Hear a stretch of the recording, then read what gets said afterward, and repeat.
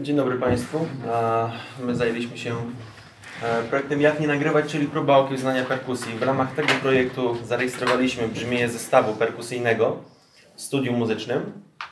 E, cele jakie nam przyświecały, co chcieliśmy właściwie osiągnąć?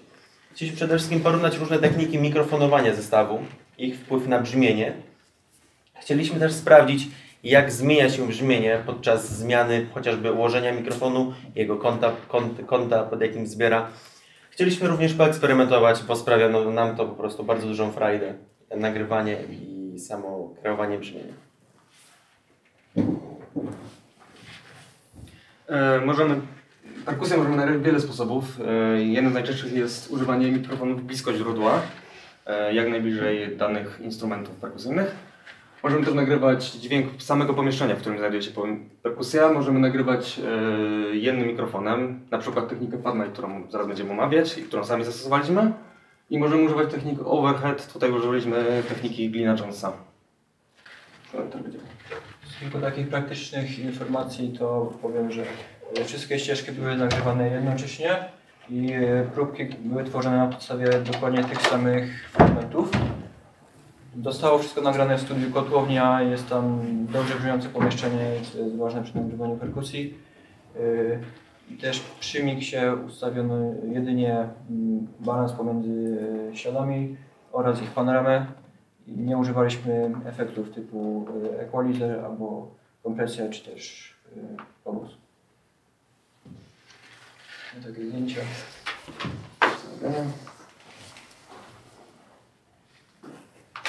Metoda close mic, czyli ustawienie mikrofonów y, blisko źródeł dźwięku, to jest mm, najczęściej używana technika y, mikrofonowania perkusji. Y, polega na ustawieniu właśnie blisko źródeł dźwięku mikrofonów i zazwyczaj do nagrywania membranofonów używa się mikrofonów dynamicznych, do idiofonów, mikrofonów pojemnościowych.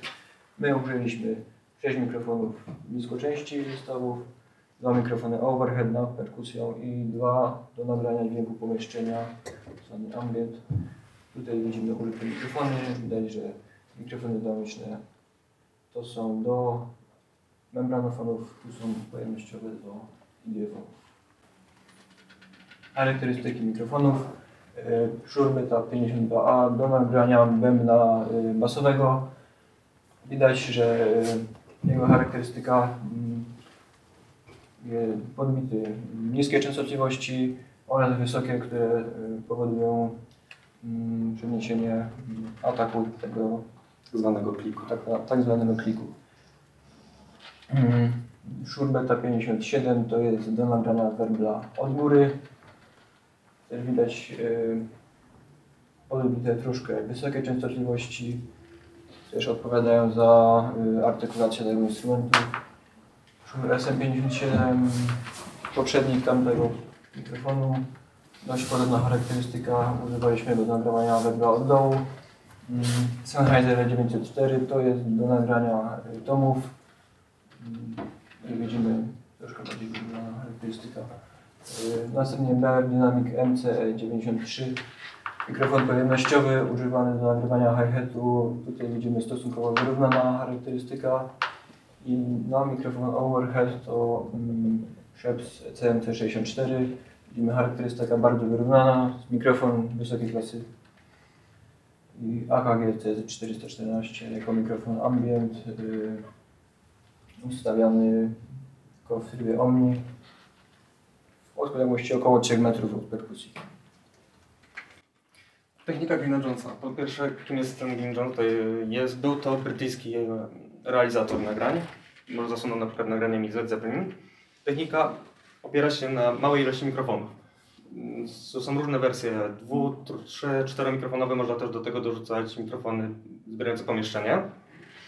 E, opiera się głównie na dwóch mikrofonach. Jednym, który jest nad perkusją, nad mm, werblem, skierowany na werbel lub na stopę i drugim ustawionym z prawej strony, tu widać, który jest ustawiony obok furtama i skierowany na stopę. My użyliśmy trzech mikrofonów, dodatkowo dołożyliśmy do tego stopa. Eee, Shurbeta 52, wszystkie są ustawione, są kardioidalne albo superkardioidalne. Overheady to, to są pojemności. Eee, charakterystyki beta to Było podniesiony klik. Audiotechnika to jest dosyć tani mikrofon, ale mimo wszystko zadziwi nas brzmieniem. E, Jest użyty jako overhead floor tom. E, I teraz ostatnia technika, którą chcielibyśmy przedstawić, jest to technika Fat Mic. O dziwo jest to e, nagranie perkusji z wykorzystaniem tylko jednego mikrofonu.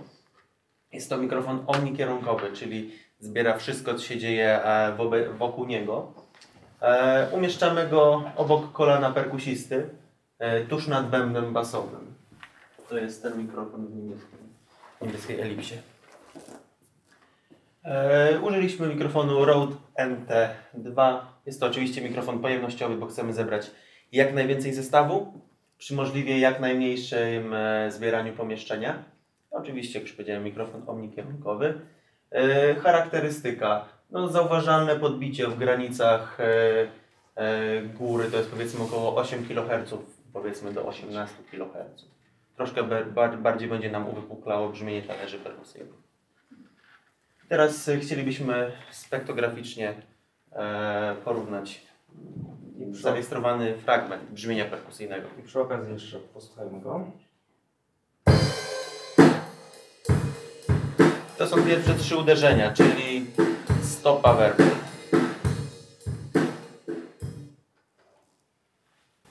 I widzimy tutaj na spektrogramach, że y, mm, jest, to jest y, pierwsza technika. Y, Widzimy dużo y, częstotliwości podstawowych. Jest widoczny y, atak, tak zwany klik. To są dwa uderzenia stopy. Jest y, werbel, y, jest tu też dużo mm, wysokiej częstotliwości.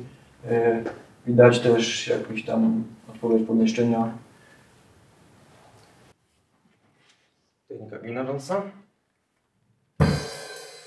Trochę bardziej rozmyty dźwięk.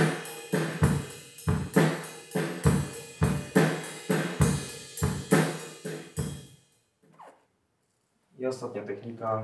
mm, Jest to jeden mikrofon. Jest tylko mono, więc nie mam spektrogramu. Mimo takiej techniki ja mnie samemu to mnie samego zadziwił e, fakt, że stopa brzmi aż tak dobrze, chociaż nie jest nagłośniona.